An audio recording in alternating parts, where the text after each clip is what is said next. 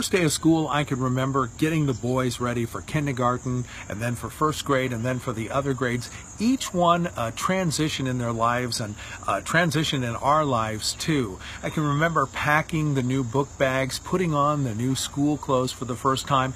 There was always a sense of excitement and a sense of joy, kind of bittersweet for the parents, but uh, you, you have to take that next step. Now, the boys even taking bigger steps. One's going to college next year and actually moving away, and that's a bigger step for him, and it's certainly a bigger step for us. So, when you get ready for school and you're uh, kind of thinking about this time, treasure the time, get some great pictures, and just have a great time getting ready for school this year and, and have a great time in school itself and treasure these times because it moves really fast.